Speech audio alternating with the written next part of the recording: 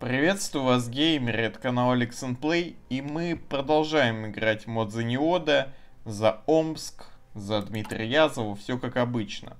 И в прошлой серии мы разобрались с оппозицией, со Старой Гвардией, которая против нас бычила в Таре и Исилькуле. Вот мы с ними разобрались и закончим, что фокусы мы все прокачались прокачали Язова, пока что, который первые, да, его фокусы. А, ну и сейчас будем, скоро начнется гражданская война в Великогерманском рейхе, и наконец-то это случится, и уже начнется какой-то экшон, и нам надо будет уже первую воевашку проводить. Скорее всего, это будет с Тюменью, но мы ее превосходим, это хорошо, 8 дивизий у нас, поэтому мы ее превосходим, это хорошо. Также я не вел, по-моему, рабство. Так, барщина, да? Это не то, то есть, не-не-не, э, вот это. М где это было?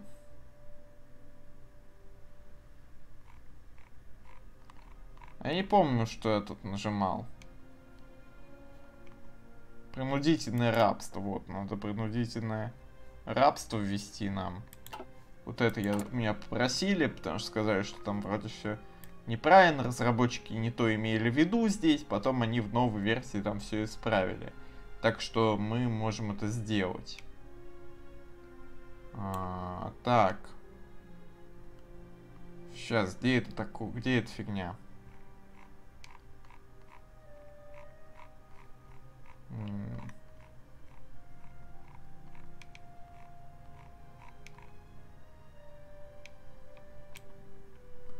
блин, где эта фигня-то?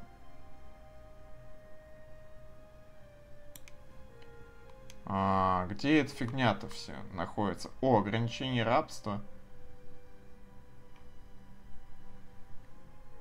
А, блин.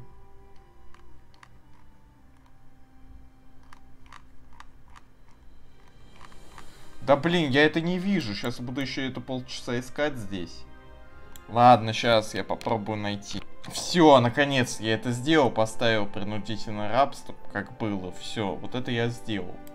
Ну окей, будем ждать, когда случится гражданская война в Германии, и уже будем смотреть, что да как будет дальше. Вот, поехали. Наконец-то началась гражданская война в Германии, наконец-то. В общем, там Геринг, Шпеер, Гейдрих, Борман будут с друг другом воевать. Ну, посмотрим, кто победит, но мне кажется, возможно, либо Борман, либо Геринг. Ну, Борман, скорее всего, победит, потому что он и преемником был, и поэтому он победит. Но все равно посмотрим. Омск тут начинает воевать с Новосибирском, но, скорее всего, Новосибирск проиграет, потому что только что он уже взял Томск, но в итоге сейчас потеряет. Хотя тут окружение Кемерово получилось вот этой части – но все равно. Не знаю, насколько он там это победит. Но посмотрим, посмотрим. И, наконец-то, конец бомбардировок. Чистое небо над нами. Это хорошо. Отлично.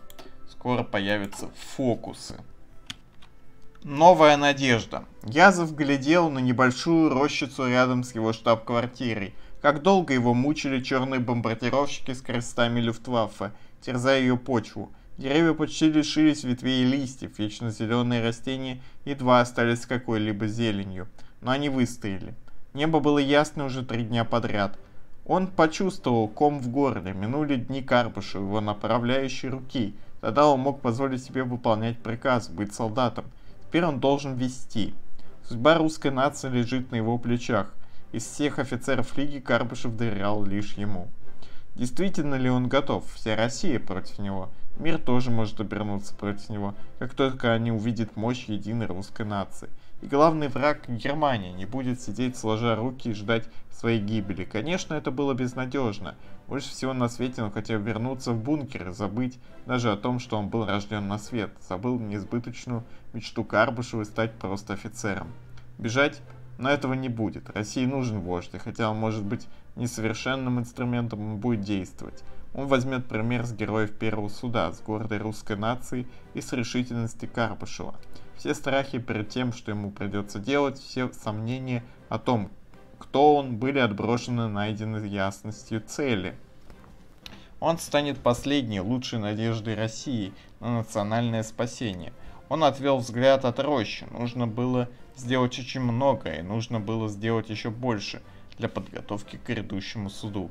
И он это сделает. И сопротивляясь, покончить с ними. Класс. Ну и открылись у нас фокусы. Также гражданская война в Англии идет, но это понятно. Хотя нет, смотри, Новосибирск котлит, Томск, реально котлит. Тут Народный революционный фронт против Сибирской Черной Армии еще воюет. Вот. Ну, тут везде развал, понятное дело. И Московия развалилась, и Остланд. Пока Украина еще не развалилась. Ну, Кавказ не развалится, по-моему. Да, он не развалится. Ну, Бургундия тут захватила уже часть Франции. Это тоже понятно. Так, фокусы. Вот у нас открылись фокусы. Чистое небо. Вот такие вот они небольшие. А, ну тут уже, видите, война будет. С кем тут война будет? С Тюменью. Да, тут будет с Тюменью. Учить редактирован шаблона. Что не входит? Ну, часть. Гвардия, ага. Тут вообще нам людей дадут? Нет, солдат нам не дадут здесь. Ну а мы в последнюю очередь будем испытание на стойкость брать. Вот это все прокачаем. Давайте посмотрим. Чистое небо. Вот, фокус возьмем. Теперь, когда немецкие бомбардировки закончились, мы должны продолжить готовиться к войне. А, он пропускается, понял. Э, предстоящая задача.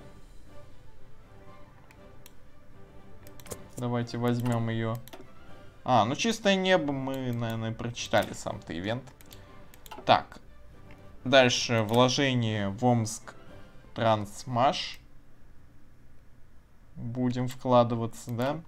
Потом элитные войска.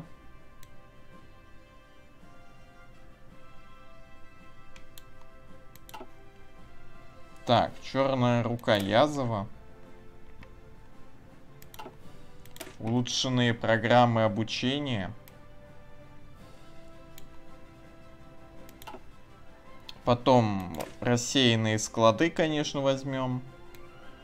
Чтобы получить снаряжение. Пехотное, дополнительное. А, нет, мы тут противотанковое и буксируемую артиллерию получим. Потом внедрение во вражеский стан мы сделаем. Испытание на стойкость. Объявим Тюмени войну Гагановичу. И барабаны войны.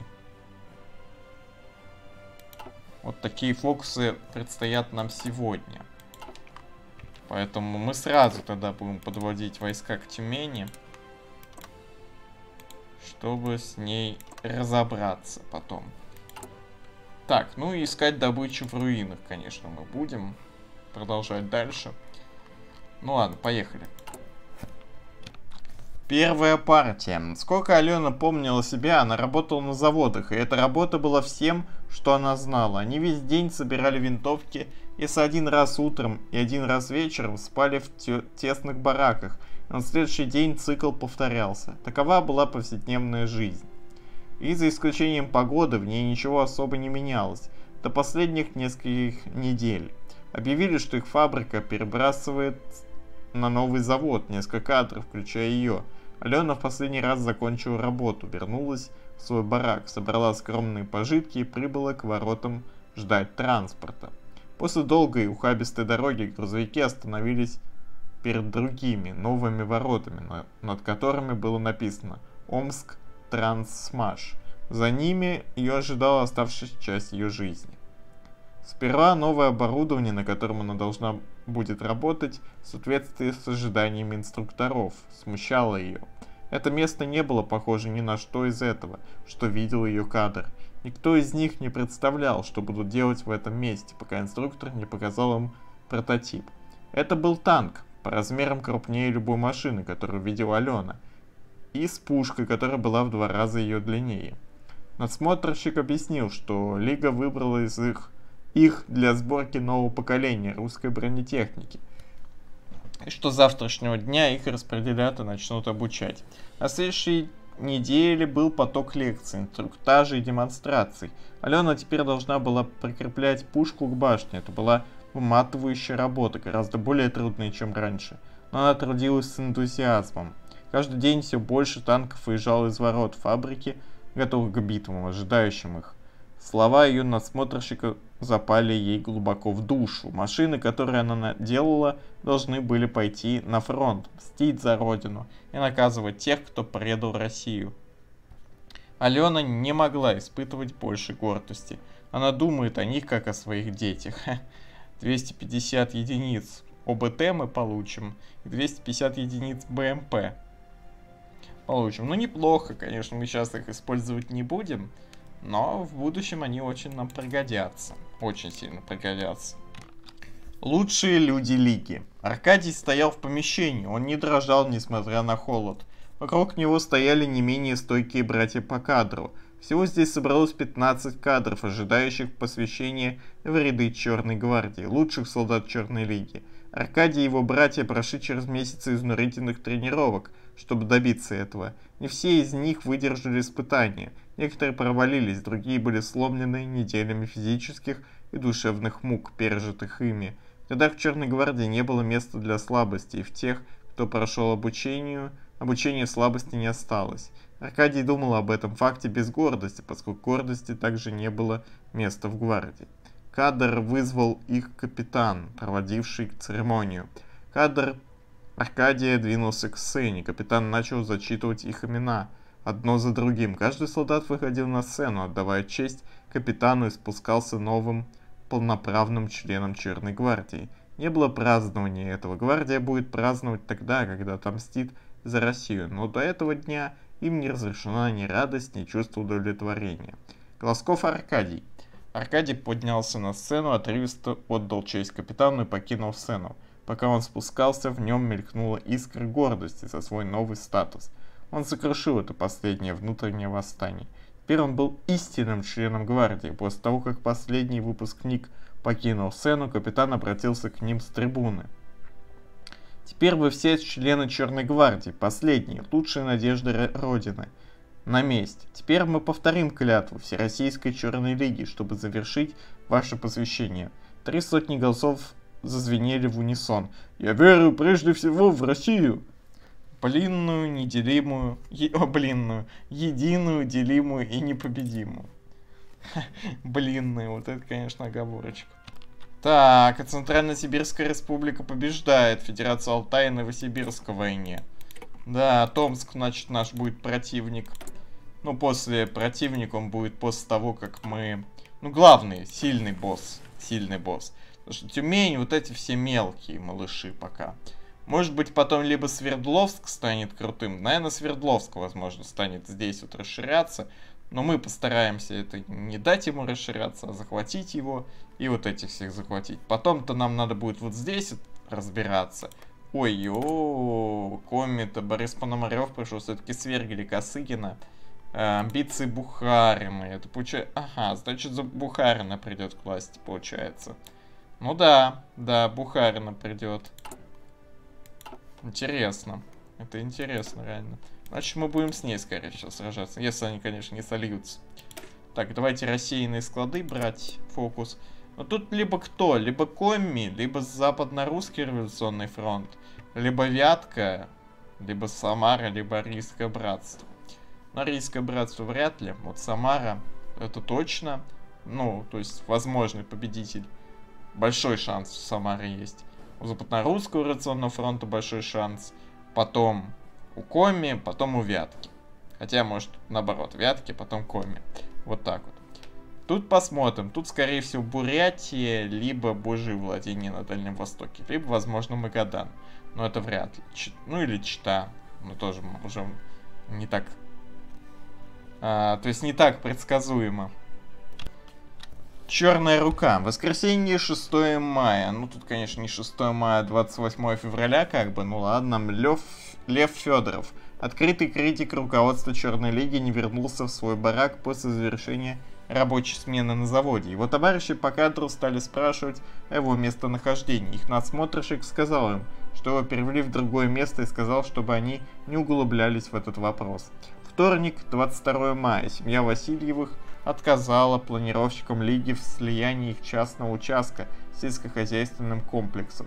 Через неделю, не получая от них никаких вестей, соседи решили проведать их дом. Они нашли его полностью заброшенным, однако все вещи стояли на своих местах, и даже недоеденный обед на столе. Соседи известили власти о пропавших без вести, и участок был скоро консолидирован.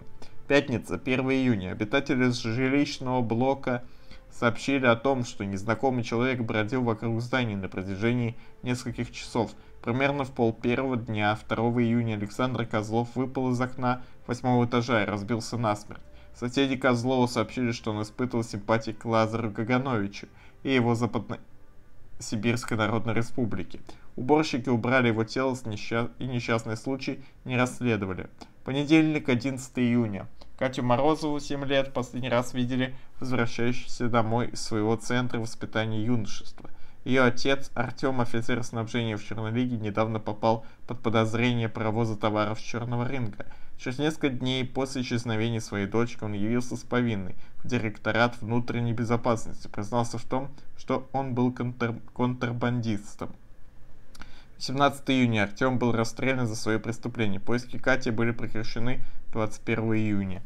А, хватка Лиги крепнет. Кстати, в Западно-Русском революционном фронте пришел Жуков. Поэтому Тухачевского сейчас завалит здесь. Ну да, посмотрим, посмотрим. Части внедрения. Товарищи, у меня есть для вас простое предложение. Александр Сахаровский, министр иностранных дел и специалист по неджентльменской войне и шпионажу, вошел в комнату и обратился к собравшимся офицерам. Беженцы являются постоянной проблемой для нас, для наших соседей, однако эти беженцы могут быть ценным инструментом для разведки, если их правильно использовать можем получить от них не только информацию о состоянии окружающих государств, но и использовать их как прикрытие для внедрения. Перебрасывать наших агентов вместе с беженцами будет более правдоподобно и менее опасно, чем рисковать, пытаясь осуществить либо переброску через границы, либо индивидуальное внедрение. Если их не пустят в страну, мы не понесем вреда. Если их пропустят, то они смешаются с населением. Это предложение по сути не потребует дополнительных затрат, всего лишь немного карт и скрытых средств связи, что, же, что уже имеется в наличии. Я с нетерпением жду скорого испытания этого метода. метода. Ловко придумано, да, действительно ловко. Ну и берем испытание на стойкость. Объявим войну. Начнет по... А, пограничный конфликт пока. А, это, думаю, уже война. Ну окей, Пограничный так пограничный. Окей. Ну, естественно, мы победили. Мы, естественно, победили. Я даже не успел вам это показать. Мы сразу их вынесли. За секунду практически. Так, их слабости выявлены. Язов черкнул спичкой, зажег свечу, свечу на своем столе. Было мило поглядеть на тусклый оранжевый свет перед сном. Однако перед тем, как забыться, сном нужно было слишком много почитать и слишком много написать. Перед ним на столе лежал печатный отчет о недавних боях на границе с Тюменью. Он лично потребовал, чтобы ему прислали значимые отчеты о боях из этого сектора. На них еще были следы грязи. Доклад о результатах выполнения задачи в секторе бития выполнил капитан Алексей Курчатов. Э, в общем, кадры тут... Э, что там? Патруль кадра заметил вражеские позиции в 9... Ладно сообщив о них по рации кадрам и запросил у них минометный обстрел. На линию огня были выдвинуты дополнительные подкрепления, были выпущены по две мины из каждого легкого миномета. Патруль эффективно осуществил перестрелку, пристрелку, выпустив 20 мин по вражеской позиции. А, в 9.55, наверное, вражеские позиции были подавлены огнем мотоманевренных групп. Позиции были очищены, мотоманевренные группы пошли вперед для предотвращения контратак. Кадр радировал о вражеском передвижении на левом фланге в 10.15. Вражеское наступление началось в 10.15 с ударов по обоим флангам и обстрела из тяжелых минометов. Кадр атаковал по собственной инициативе в 10.25, чтобы отразить наступление врагов на левом фланге. Рекомендую поощрить кадр. Фронты правый фланга были удержаны. Занятые позиции удержа... удерживались остаток дня. Наши потери 15 убитых, 41 раненый. Приблизительные вражеские потери 40 убитых, 80 раненых. Я зачитал доклады вроде этого весь день. Крупные бои с решительной настроенным противником, однако казалось, он был неровнее огневой мощи и решимости его солдат. Он позволил себе минуту гордости, это был прогресс. Теперь они были реальной военной силой, сравнимой даже с происходящих лучших из тех, кого Сибирь могла выставить против них. Возможно, настало время отдыха для его усталых глаз. Он снял свою фуражку и положил ее на стол. Завтра будет другой день, когда он прочтет еще больше докладов. Он оставил маленькое примечание в самом низу страницы перед тем, как потушить свечу. Поощрить кадр. Вот армии плюс 5 и просто базовую поддержку войны плюс 5. Класс. Отлично. Кстати, всем забывай, надо мне поставить мод, чтобы иконки дивизий, вот модельки дивизий были покрасивее. Не очень выглядит на самом деле. Я-то раньше играл с, с иконками для дивизий красивыми. Надо поискать не этот мод на эту версию и поставить его. Вот сегодня как раз после записи поищу его, постараюсь установить. Ну, чтобы было как-то красиво, актуальненько, интересненько, визуальный, визуальненько. Так, фокус барабаны войны взят. И подкрыли следующие фокусы. Кстати, что-то Василевский здесь проигрывает. Сибирской Черной Армии, либертарным социалистам анархистом на самом деле потом. А, ясно. А, Божье владение на Дальнем Востоке что объявляет войну? Камчатки. Против Камчатки пошел воевать. Магадан воюет с Читой. Но если посмотреть, то, наверное, Магадан выиграет, скорее всего, в этой катке. Ну, Бурятия пока развивается, пока особо ничего не делает. Ну, наверное, потом пойдет на Якутию для начала. Ладно, фокусы на пути к войне. Там речь будет у нас события. Усиление обороны.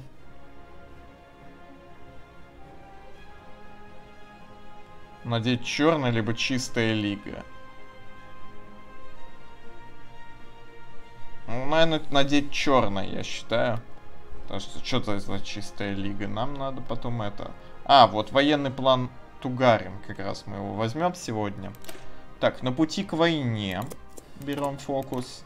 Потом возьмем заострить, заострить меч, подготовить щит и военный план. Тугарин змей. Хе, ладно, поехали. А потом, наверное, все-таки наденем черное, потому что, ну, чистая лига это как-то скучно. Еще нет места прислужбы мертвой идеологии, но еще пути. А, умрут, как-то заслуживают. Так. А что здесь?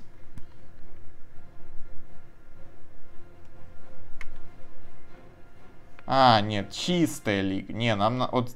не, нам надо будет надевать чистое все-таки. А, это не про форму. Чистую лигу надо брать. Не, не, тут надо чистую лигу брать, потому что, ну, все-таки надо отыграть правильно, потому что мы коммунистов все-таки почистим. Мы все-таки должны чистить как-то, жестче отыгрывать. Поэтому не будем. Поэтому будем хорошо отыгрывать. Будем отыгрывать именно как надо сюжетку. Так, Бурятия решила напасть на Читу. Ну все, для Читы это точно конец, ясно. Речь. Шеренги в черных мундирах выстроились перед Язовым, который напряженно шагал мимо, мимо них. Он видел нервную энергию в их глазах и боролся с собой, чтобы не встретиться с ней взглядом, заставляя себя вернуться к привычному прошлому, где он был уверен во всем прошлому, где все было под контролем твердой руки Карбышева. Он просто произнесет свою речь и забудет о страхе. «Товарищи солдаты!» – начал Язов, употребив фразу, которую так любил Карбышев. «Сегодня, доказывая свою силу, мы доказываем, что достойны править Россией. Ваши сегодняшние деяния докажут фундаментальное правило Вселенной. Сильный правит, а слабый погибает. Ваши дела докажут, что мы Всероссийская Черная Лига – единственное спасение русского народа и его тысячелетней цивилизации. Поэтому, хотя сегодня вы можете сражаться со своими соотечественниками, сражайтесь так, как будто вы стоите лицом к лицу с самим фюрером. Потому что если мы потерпим неудачу сегодня, то завтрашнего дня не будет, и Россия погибнет раз и навсегда от рук сверхдержав, когда начнется Великий Суд. Так идите же вперед и впишите свои имена в историю – Язов остался доволен своим выступлением, и раздались радостные возгласы. Теперь последний лиш... личный штрих. «Наше дело правое!» — прикричал он под, новым, под, новыми, под новые аплодисменты, вновь озвучивая те слова, которые он слышал по радио, когда все это началось в 41 году. Враг будет разбит, победа будет за нами.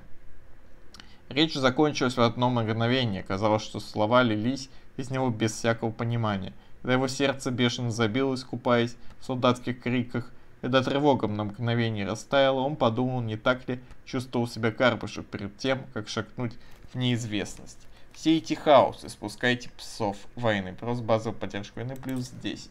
Уже того 52% получается. Ну, я уже 11 дивизий сделал, пускай немножко подобучается. И пойдем на Тюмень. Короче, Бурятия захватила Читу. Магадану ничего не досталось. Но вот уже два претендента на объединение Дальнего Востока. Это Бурятия и Магадан. Вот. Здесь что происходит? Ну, Самара с Татарстаном воюет. Вятка Березники захватила. Рийское братство воюет с башкирами. Вот такая ситуация. Коми пока Пономарев сидит. Повторим, 1917 год. А, он пойдет сейчас на Вятку. Понятно, он сейчас пойдет на Вяточку. Посмотрим. Ну, посмотрим, кто победит. Коми или Вятка, даже очень интересно. Последние приготовления. Над восточным горизонтом только начинал пробиваться свет. Андрей бодрствовал уже несколько часов, наблюдая за границей в поисках какого-либо движения. Позади него остальная часть его команды выполняла утреннюю тренировку, проверяла оружие и готовилась к завтраку. Перед ним простиралась бесконечная равнина, исчезающая во тьме. Примерно в 50 метров вглубь этой равнины проходила невидимая линия, отделявшая Всероссийскую Черную Лигу и предателей и трусов, стремившихся разрушить Россию. Понятие границы России в наше время изменчивое часто причудливое, но судя по карте, граница была там, и они не должны были, были ее пересекать, в всяком случае пока. Формально никаких планов войны с тюменскими большеви... большевистскими негодяями не было, все разговоры об этом были лишь слухами. Технические боевые кадры, как и почти все остальные боевые кадры Лиги, были переброшены границы в рамках учений. Приказ о постоянной боевой готовности не имел ничего общего с эскалацией пограничных столкновений между Лигой и коммунистами на севере. Официально все шло как обычно, но тот простой факт, что кадровые командиры не предпринимали никаких усилий, чтобы прекратить разговоры в рядах о вторжении, был достаточным доказательством для всех. Приближалась война. Глядя в предрассветную тьму, Андрей не мог не волноваться. Он знал, что этого не должно быть. В конце концов, он будет сражаться против своих соотечественников. Он готовился к войне с тех пор, как ему исполнилось 14 лет. Наконец-то он сможет послужить своей цели для Лиги, отомстить за Родину. Он не хотел сражаться за славу. Там, в темноте, примерно в 50 метрах, лежало нечто гораздо большее, чем слава. Его ждало искупление линия будет пересечена. Опыт армии плюс 10. Усиление обороны. С момента распада Советского Союза Омск всегда оставался укрепленным городом. Бункеры и тоннели, впервые построенные Западно-Сибирской Народной Республикой, были лишь фундаментом для мощной сети укреплений и редутов, построенных по приказу Карбышева. Паранойя Черной Лиги приняла реальную форму. Линии укрепленных огневых точек, траншей и минных полей тянутся от границ Лиги до самого его центра Омска. Сам ландшафт Западной Сибирь был оружием против любого внешнего вторжения. По мере того, как влияние Карбышева ослабевало, пропирающиеся генералы Старой Гвардии мало уделяли внимания поддержанию этих мощных укреплений. Они заботились только о защите своих личных владений, думая исключительно о себе, а не о нуждах России. И только когда Язов победил предателей, он понял, в каком плачевном состоянии находится оборона. Он объединил Лигу и ее территории. Теперь, когда он усилил свой контроль, он не потеряет его из-за внешнего захватчика. Пока Лига готовилась к войне, были предприняты все шаги, чтобы обеспечить подготовленность тыла. Первый суд научил русский народ тому, что он должен ожидать пришествия войны на его территорию. И под руководством Черной Лиги он будет готов к этому. Лига призвала всех, кто находится в пределах ее границ, восстановить укрепления в Омске и вокруг него. Траншеи углубляются и укрепляются, старые бункеры очищаются и переоборудовываются. Зенитные расчеты перемещают свои орудия к границе, чтобы противостоять противнику с воздуха. По мере приближения освобождения России, предвкушения в Омске становятся ощутимыми. Эти последние недели подготовки решат судьбу России. Язов и остальная часть Черной Лиги не уступит врагу ни пяди русской земли без боя. Черная Лига не должна пасть, пока не свершится правосудие. Рост базовой стабильности плюс 7,5%. Неплохо. Стабильность у нас уже 50%. Неплохо, неплохо. Ну и все. Скоро будет война. Через 20 дней. Ну вот и 8 августа 1964 года мы объявляем войну Тюмени. И понеслась война. Ну тут мы дальше пока ничего качать не можем. Ну и смотрим, как будет идти война. Тут сразу давайте вынужденную атаку дадим. Но мы тут прорываем сразу их. Тут будет очень легкая война это. Очень легкая. Златоуст предоставил нам советников. Ну ладно, вот это прочитайте уже сами. Спасибо за помощь. Это, конечно, Получаем опыт армии плюс 10 на 180 дней, организация дивизии плюс 15. Это мощно, это мощно, реально. Так, тут давай вот так вот пойдем. Пытаемся тут окружить тюменский танк, если это возможно. Он вообще отступил чуть ли не в Томск. В Томское это правительство, но да ладно. Так, не-не-не, ты слушай, чувак, иди вот так вот, Тюмень. Попробуем окружить три дивизии эти. Если выйдет, конечно, у нас. Но пока что-то я не вижу, чтобы это выходило так просто. Так, тут я думаю, ну нет, тут мы не получится нам так котел сделать, наверное. Хотя, если попытаться... Если попытаться, конечно, может и выйдет. Надо вот сюда пробиться. Тюмени. Взять Тюмень. И это будет котел. Ну тут курган давай возьмем. Щадринск тоже попытаемся взять. Ой-ой, нас тут закотлили, вот зараза. Ну ладно, на Челябинск идем. Надо прорываться скорее. Все, отлично, Тюмень скоро будет наша. Потеря 10 тысяч у нас, у них 16 тысяч. При условии того, что они еще капитуляции готовы. Ленин в плену. Ну, ладно, про это читать не будем. Мы это частый ивент мы читали, на самом деле. Так что доступно новое решение. На самом деле, я не знаю, что Язов бы сделал с трупом Ленина. Похоронить по-тихому.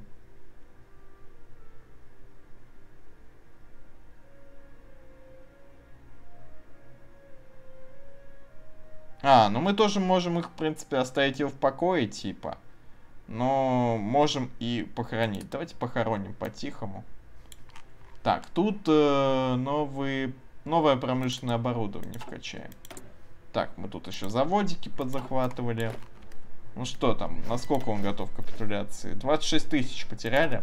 Ну сейчас Челябинск, наверное, взять. Уральский автозавод захвачен. Вперед, земляки. Так, ну как ситуация? Ну да, стопроцентный кап, мы 11 тысяч потеряли, они 41 тысячу потеряли, отлично. Первая победа наша уже получилась. Так, ну тут я думаю вот так вот на Свердловск это все поставим. Но я думаю здесь-то нам на самом деле все будет просто. Омск, Томск на нас не нападет, так что пока переживать нечего. А, давайте возьмем чистую лигу. Потому что в рядах истинных сынов так, а они умрут, как только как того заслуживают.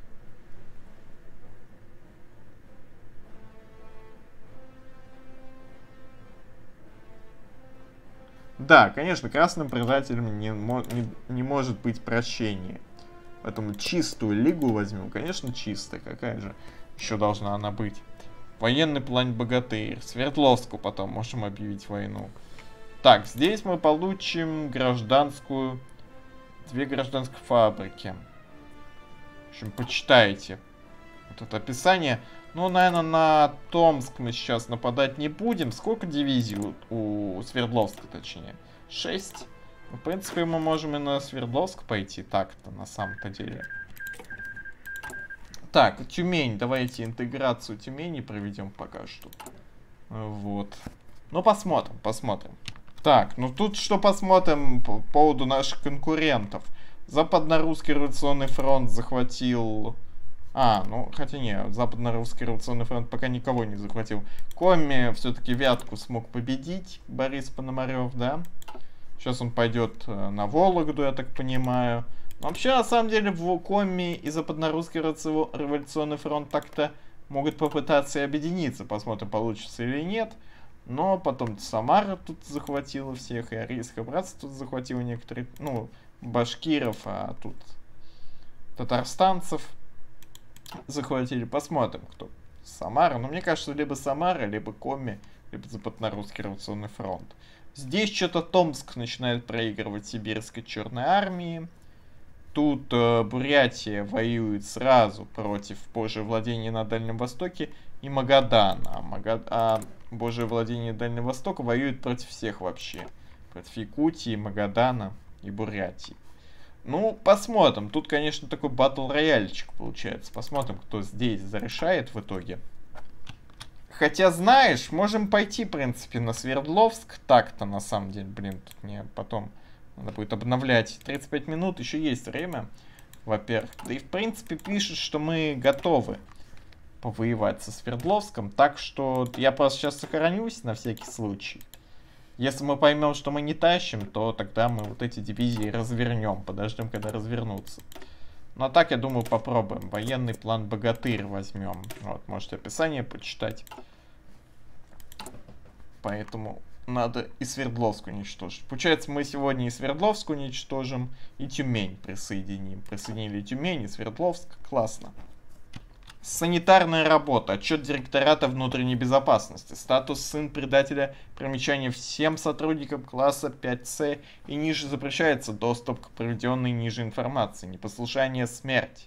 Итог. Ликвидация диссидентских политических элементов. Бывшие наименования Лазарь Каганович, Никита Хрущев, Вячеслав Молотов, Михаил Каганович. Волна первая завершена с минимальными потерями времени и рабочей силы. Аннотация. Политический элемент Каганович явился на трибуну в 7.15 на 5 минут раньше срока. Официальное судебное разбирательство полностью задокументировано в приложении к отчету 1. Доступ только для сотрудников класса 7А и выше. Элементу было разрешено выступить с краткой речью в свою защиту. Обвинения в политическом вмешательстве одобрены без возражений. Записи Запись речи выглядит следующим образом. «Будь проклят! Будьте прокляты! Я знаю, что ты где ты там, Язов! Как, почему? Я видел, что ты делаешь. Что ты сделал с городом, который построили мои люди? Я видел фургоны, видел, как мои люди маршируют в тюрьмы и уже не возвращаются. Какое чудовище могло так поступить, чтобы натравить шакалов на свой народ? Элемент был взят под стражу после того, как был лишен возможности говорить исполняющий обязанности судьи, удалено, одобрил внеочередной перерыв после выступления, признал возможное психическое напряжение элемента Кагановича причиной его лицемерных заявлений согласился впоследствии помиловать политические элементы.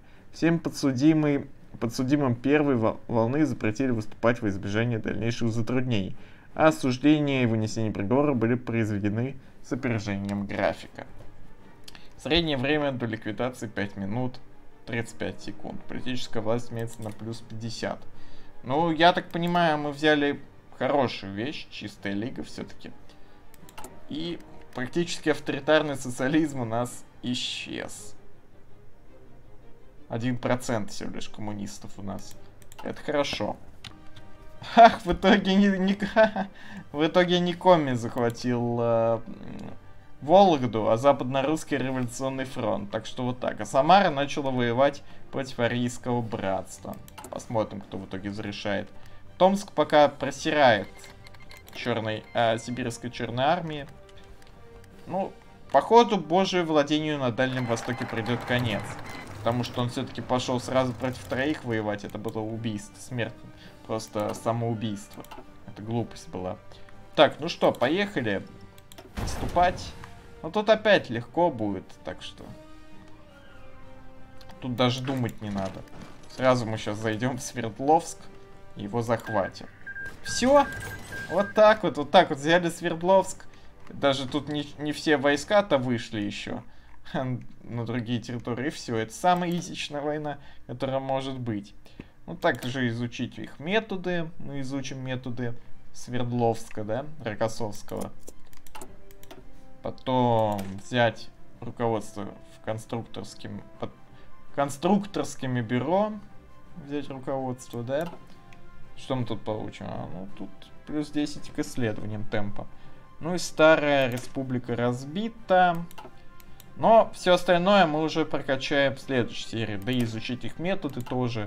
Взять руководство над конструкторским бюро тоже возьмем в следующей серии. Ну и так далее дальше. Ну и будем тут разбираться со всеми остатками в Западной Сибири. С, с Югрой, с Воркутой, свободными авиаторами, Златоустом. Будем разбираться тоже. И так далее. О, Томск прям в котле тут попал. Ну и Сибирская Черная Армия тоже в котле. Верхнеудинск хоть и взяли у бурятов, да, но это не поможет божьим владениям на Дальнем Востоке. Ну, Бурятии тоже на самом деле сложности против Магадана, но не такие уж сильные. Так, тут мы, конечно, заводики поставим вот так. А, ну и интеграцию Свердловска тоже мы проведем. Ну что ж могу сказать, на этом будем заканчивать. Посмотрим еще, кто в Германии побеждает. Ну, Шпеер пока держится, Гейдрих, конечно, держится в Люксембурге, но сольется, я думаю, сольется. Германия Геринга захватил э, Гейдриха в Восточной Пруссии, да, и сейчас сражается против Бормана. Посмотрим, кто победит. Скорее всего, Борман, либо Геринг. Потом на третьем месте Шпеер. Наверное, на четвертом Гейдрих. Но он вряд ли выиграет, он никогда не выигрывает. То есть бот, когда играет за него, никогда не выигрывает за него. Ну вот так вот. Довольно неплохая такая серия получилась. Мы уже расширились довольно неплохо. Все хорошо у нас получается. Ну а на этом я буду заканчивать. Всем спасибо за просмотр. Обязательно подписывайтесь на канал. Обязательно ставьте колокольчик, чтобы не пропускать оповещения о моих видео. Также, чтобы точно знать, что вышло видео, подписывайтесь на мой Discord сервер, подписывайтесь на группу в Telegram. Вконтакте, в принципе, можете пока не подписываться, но тоже переходите. В будущем, может быть, там что-то будет. А может и не будет, не знаю. Но обязательно комментируйте, это помогает в продвижении видео. И ставьте лайк. Потому что вам это не сложно, а мне будет очень приятно. Это очень хорошо бустит канал. Ну а на этом я с вами прощаюсь. Всем пока, всем удачи.